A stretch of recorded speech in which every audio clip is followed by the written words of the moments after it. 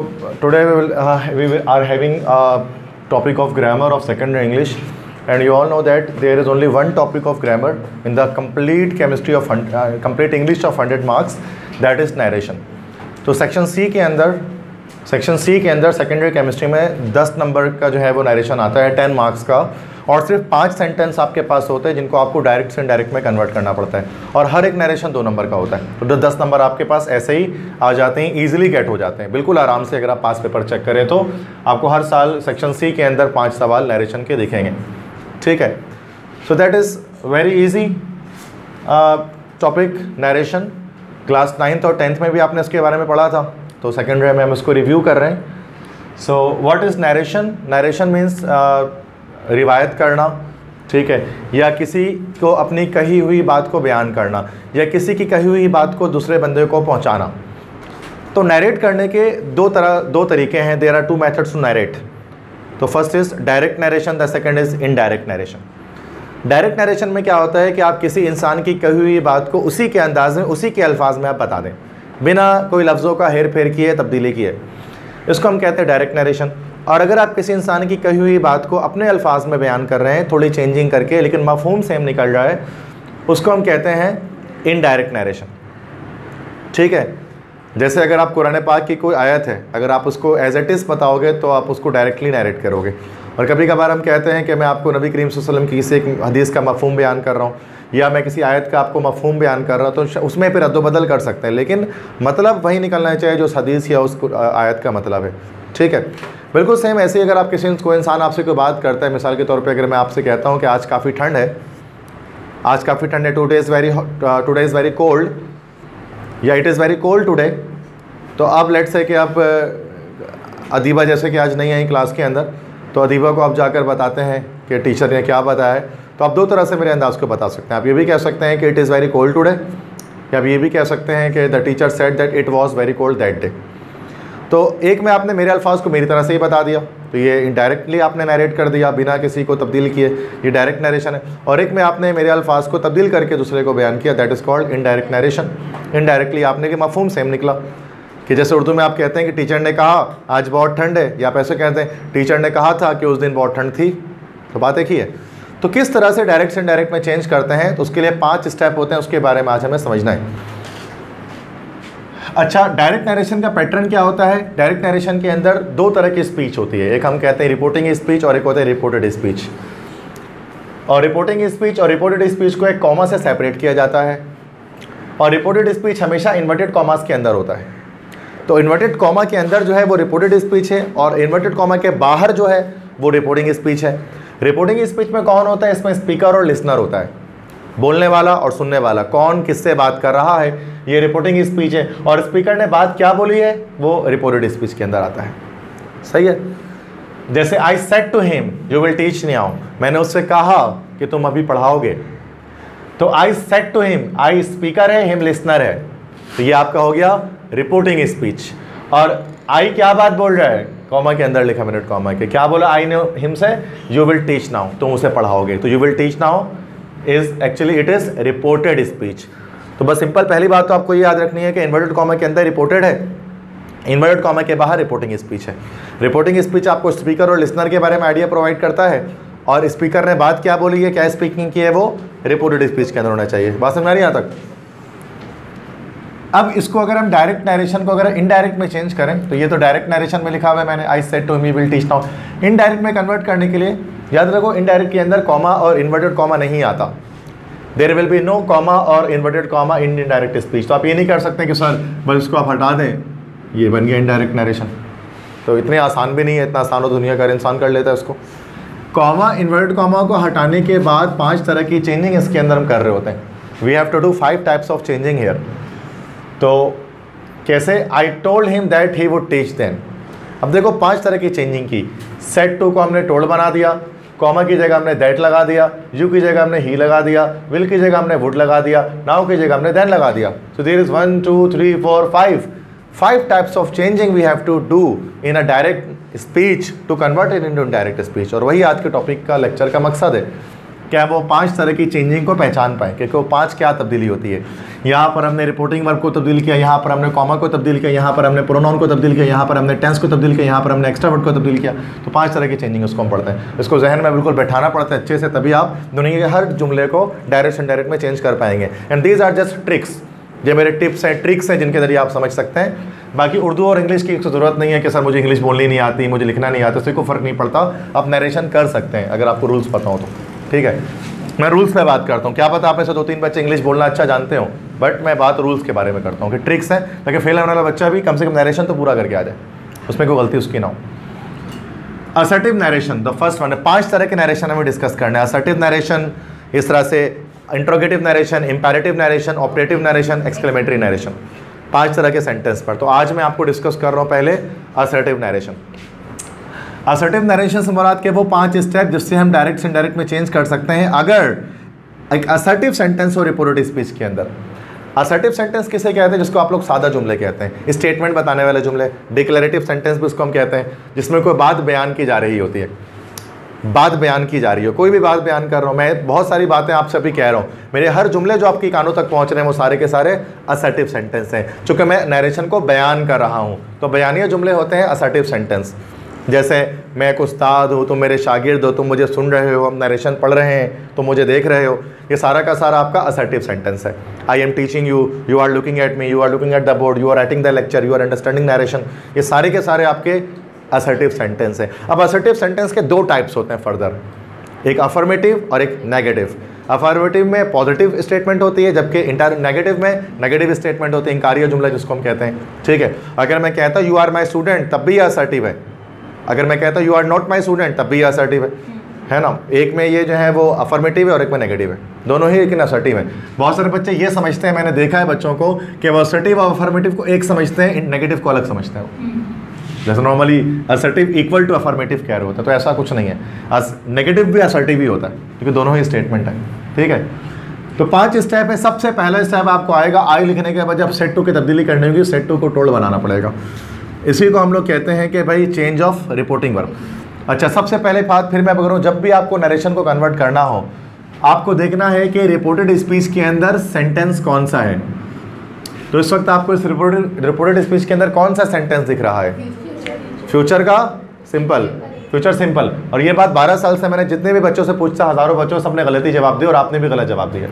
You will teach now यहाँ पर sentence future simple नहीं है। यहाँ पर सेंटेंस जो है वो असर्टिव है। टेंस फ्यूचर सिंपल है।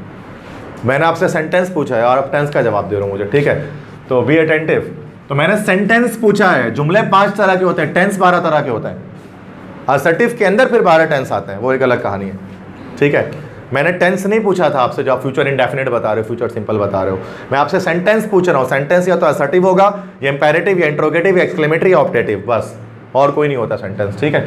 तो सबसे पहले ये जानना है कि सेंटेंस कौन सा है। सेंटेंस के बाद देखेंगे टेंस कौन सा अभी सेंटेंस जानना है। क्योंकि सेंटेंस यहाँ पर असर्टिव है तो ये पाँच रूल हम फॉलो करेंगे। इंटरोगेटिव होगा तो ये रूल्स चेंज हो जाते हैं। इंपेरेटिव के लिए भी चेंज हो जाते हैं। एक्सक्लेमेटरी के लिए अलग होते हैं। ऑपरेटिव के लिए अलग होते हैं। और इसलिए मैं अलग अलग करके पढ़ा तो एक साथ बढ़ाऊँगा फालूदा बन जाएगा, कुछ समझ में नहीं आएगा। ठीक है, इसलिए बच्चों को नरेशन समझ में नहीं आता, क्योंकि वो पाँचों एक साथ पढ़ने की कोशिश करते हैं। ठीक है तो मुश्किल हो जाती है। तो she said to Ali you have done this तुमने ऐसा किया है तो ज़ाहिर सी बात है असर्टिव सेंटेंस है। तो पहला rule change of reporting word सबसे पहले सेट टू को चेंज करना।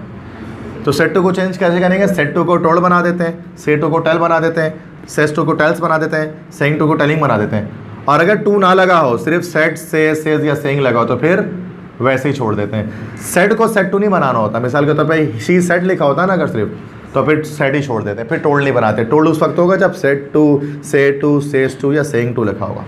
ठीक है? पहला रूल तो ये हो गया आपके पास। तो ये शी सेट टू वाली तो आपने इसको लिख दिया शी टोल्ड अली ठीक है? इसको हम लोग कहते हैं रिपोर्टिंग स्पीच का वर्ब है इसलिए ये कहलाता है रिपोर्टिंग वर्ब ठीक है, ये रिपोर्टिंग स्पीच है ना पूरी? ये पूरी रिपोर्टिंग स्पीच है। इसके अंदर जो वर्ब आपको दिख रहा है, वो सेट टू दिख रहा है, इसलिए हम उसको रिपोर्टिंग वर्ब कहेंगे। तो रिपोर्टिंग वर्ब को तो करना पड़ता है, ये ये भी कह सकते हैं इसको आपके change of said to said to को चेंज करना पड़ता है। तो सेट टू को चेंज करके टोल्ड बना लेते हैं, लेकिन सिर्फ़ असर्टिव में। इंटरोगेटिव में ऐसा नहीं करेंगे वहाँ आस्ट बना देते हैं वहाँ अलग कुछ करते हैं। वो नेक्स्ट लेक्चर का टॉपिक है हमारा। स्टेप नंबर टू, आप जैसा ही है भाई। शी टोल्ड अली कर दिया, अब आगे आ गया कॉमा इस कॉमा को कैसे चेंज करेंगे?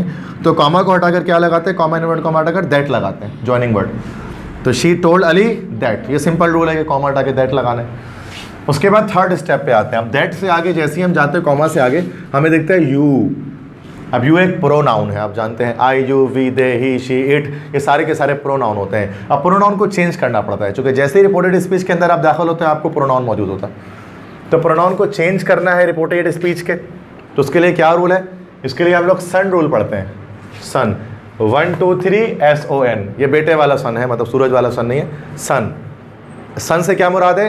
सब्जेक्ट ऑब्जेक्ट नो चेंज तो फ़र्स्ट पर्सन सब्जेक्ट से चेंज होगा सेकंड पर्सन ऑब्जेक्ट से, और थर्ड पर्सन नो चेंज अगर रिपोर्टेड स्पीच में फ़र्स्ट पर्सन का प्रोनाउन आ जाए तो रिपोर्टिंग के सब्जेक्ट से चेंज होगा।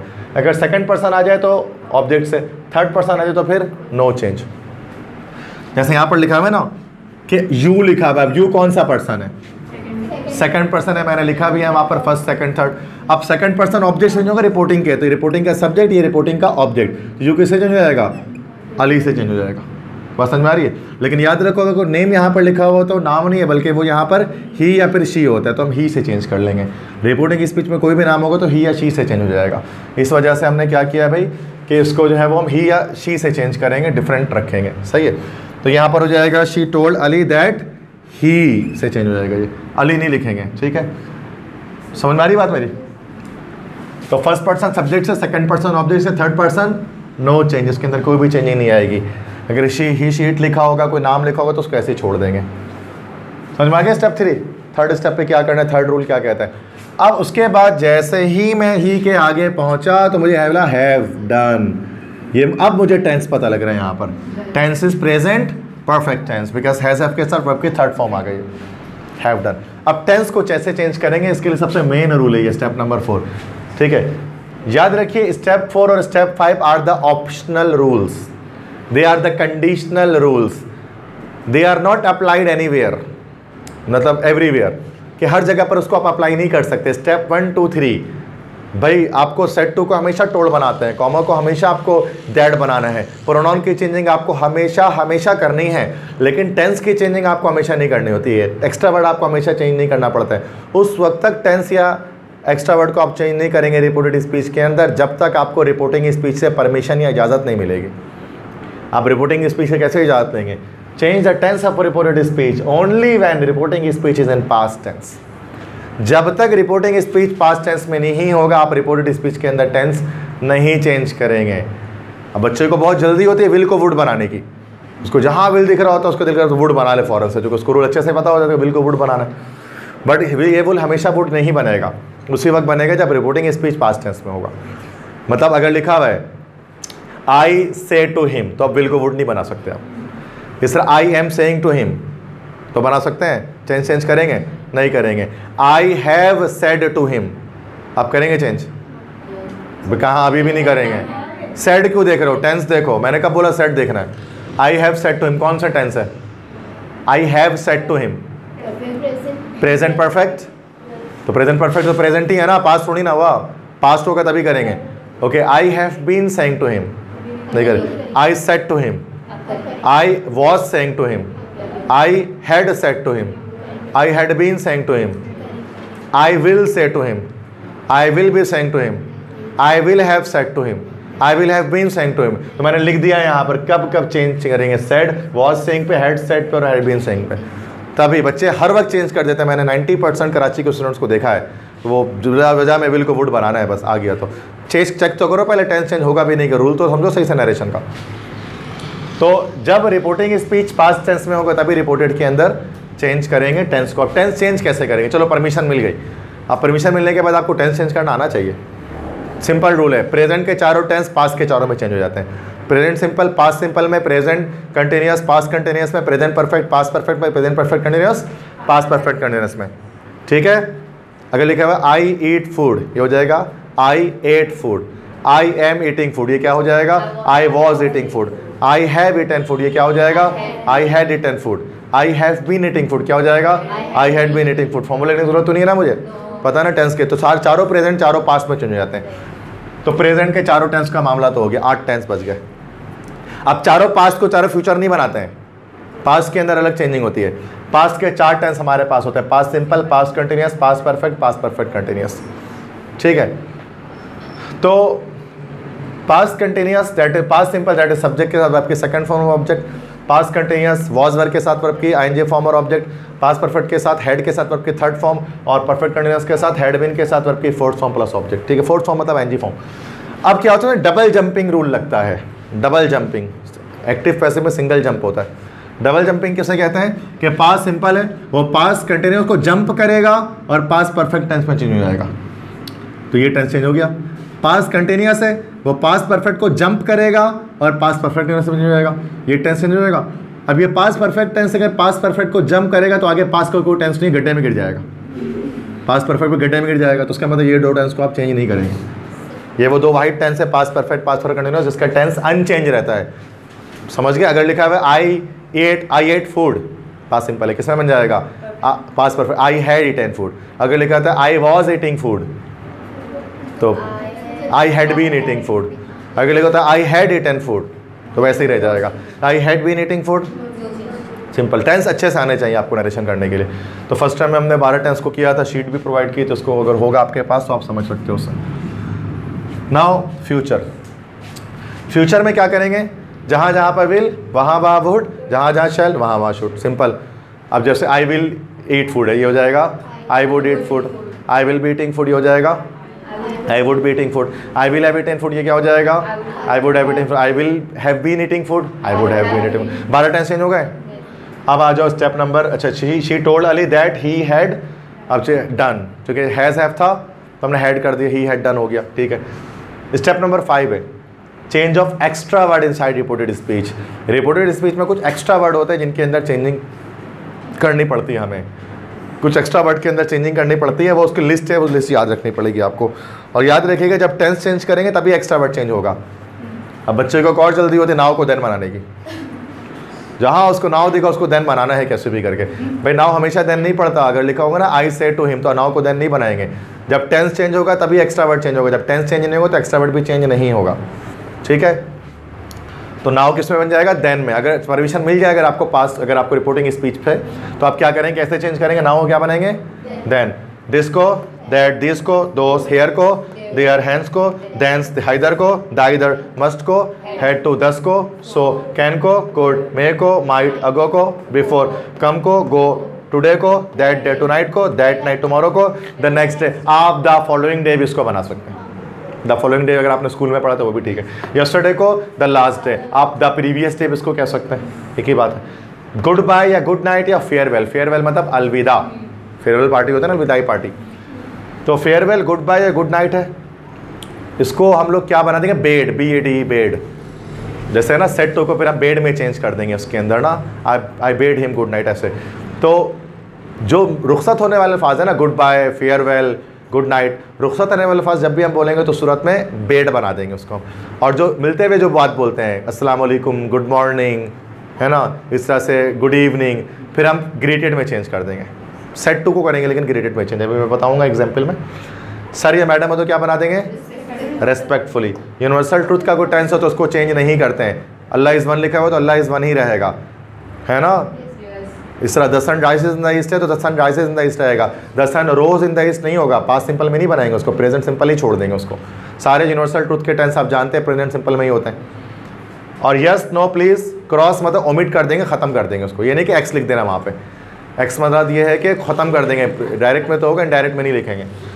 ठीक इंटरजेक्शन अगर कोई हुर्रा, याहू, अलास, ओहो, ओ, आहा, वाओ, ये सब है तो उसको क्या कर देंगे?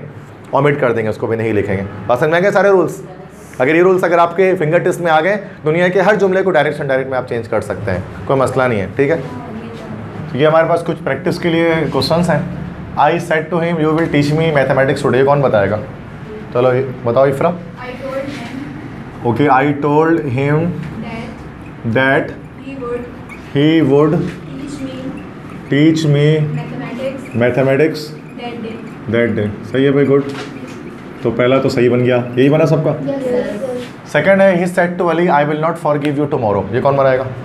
चलो कशिश तुम बताओ। ही टोल्ड अली आगे। दैट ही वुड नॉट सही है? फॉर गिव हिम सही है? द नेक्स्ट डे या द फॉलोइंग डे सही है। ठीक है second is also correct third है Ali and Arsalan said to my father you can not punish your son because he is mature now ये कौन बनाएगा? Anyone in the classroom चलो अलीना बताओ।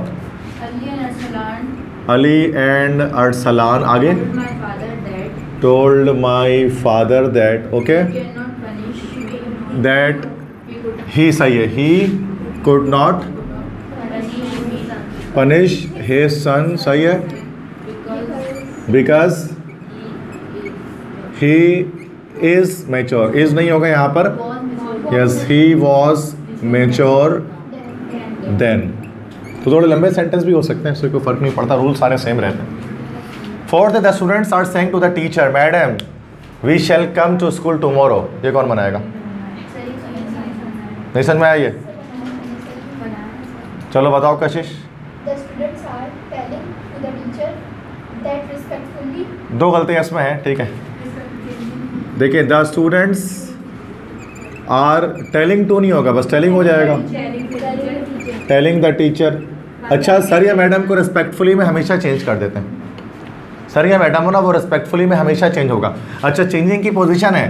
दैट से पहले लगता है फिर ये दैट है ना students are telling the teacher respectfully that ऐसे होगा। दैट रेस्पेक्टफुली नहीं होगा। अब ये मैडम यहाँ से कट जाएगा। अब वी है वी किससे चेंज हो जाएगा? सब्जेक्ट से तो दे शुड कहाँ से हो जाएगा? ज़्यादा कहाँ मिली चलने लगी दे विल कम कम को गो नहीं बनाना एक्स्ट्रा वर्ड है। Come to school the next day भी नहीं होगा टुमारो रहेगा। जब परमिशन ही नहीं मिली है तो कहाँ से चेंज कर रहे हो? आर लिखा हुआ है are saying to the teacher तो ना टेंस चेंज होगा नेक्स्ट वर्ड चेंज होगा। बट सिर्फ़ सर मैडम जो है ना, वो एक्सेप्शनल केस है। वो हमेशा रिस्पेक्टफुली बन जाएगा, चाहे उस सूरत में टेंस चेंज हो ना हो।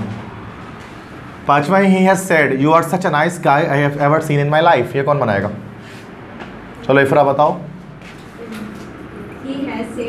He has said that I am such a nice guy he has ever seen. In his life सही है ठीक है। गुड ये भी करेक्ट है। छठा है she said to me good morning अच्छा इसमें क्या होगा देखो। सेट टू होगा ग्रेटेड अच्छा इस तरह से बनता है। शी ग्रेटेड मी और दैट नहीं लगाएँगे बस डायरेक्ट गुड मॉर्निंग लिख देंगे। She greeted me good morning बस इस तरह से। सेम इस तरह से सेवन्थ में भी ये होगा। He he was bidding me good night इस तरह से बनता है ये। Good good morning good night वाला। आठवां है they will say to us we will go to picnic this month ये कौन बनाएगा चलो इफ़ा बताओ। They will tell us that, that they will tell us that आगे they will go to picnic. They will go to picnic सही है this month सही है। करेक्ट नेक्स्ट है the teacher was saying the earth is round ये कौन बनाएगा? Yes same आ जाएगा तो द टीचर वॉज़ सेइंग बस दैट लग जाएगा। उसके बाद the earth is round because it is a universal truth and we never change the tense of report universal truth Ali had said to Alina I ate mango two hours ago ये कौन बनाएगा? चलो इफ़ा तुम बताओ दोबारा। Ali had told Alina Ali had told Alina that he had eaten he सही है? mango before two hours. Two hours before ऐसे लिखते हैं। एगो की जगह बिफोर लगा दो बस। टू आवर्स बिफोर सही नेक्स्ट है, Faisal said to Ali.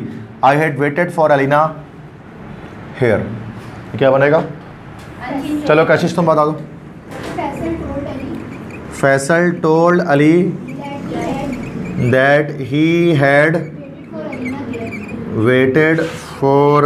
Alina there सही है? So this is all about the narration practice जो असर्टिव सेंटेंस जो आज हमने पढ़े, उनके प्रैक्टिस मैंने यहाँ पर सारी करा दी आपको। ठीक है? ताकि आप इसको समझ लें।